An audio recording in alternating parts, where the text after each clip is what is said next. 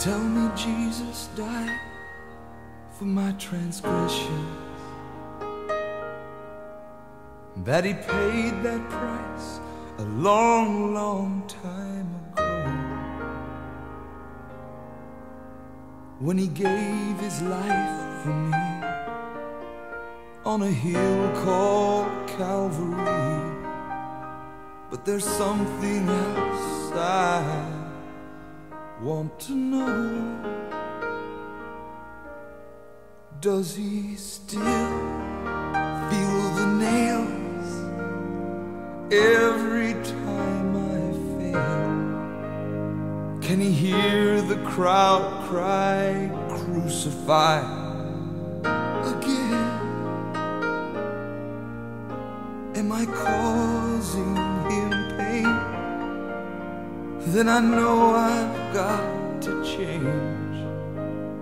I just can't bear the thought of hurting him.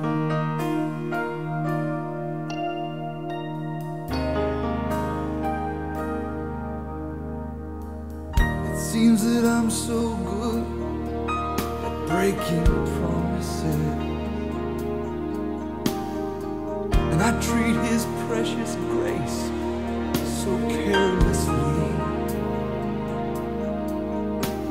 But each time he forgives, what if he relives the agony he felt on that tree?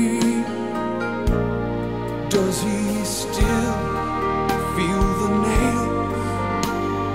every time I fail? Does he hear the crowd cry, crucify again?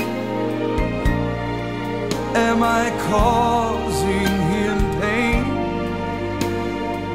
Then I know I've got to change. Cause I just can't bear the thought